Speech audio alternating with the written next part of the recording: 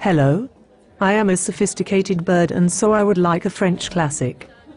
Do you mean a glass of frankly fairly disappointing wine from a bottle with a label that not even most French wine experts understand or care about? No, I mean French classic.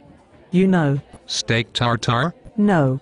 Perhaps a nice creme brulee followed by some sauternes and a spirited discussion about the European Union debt crisis and whether Nicolas Sarkozy had to stand on a box to do it with Carla Bruni. No. An overpriced handbag stitched together by nimble-fingered children in a shady sweatshop in Asia. No, no, no. I want a cocktail. A French classic cocktail.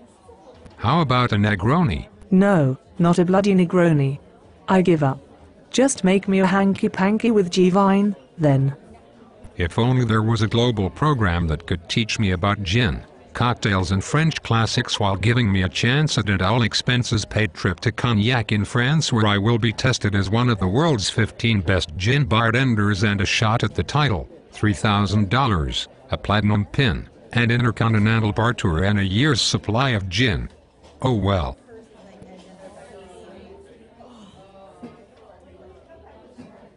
Where is my shagging hanky panky?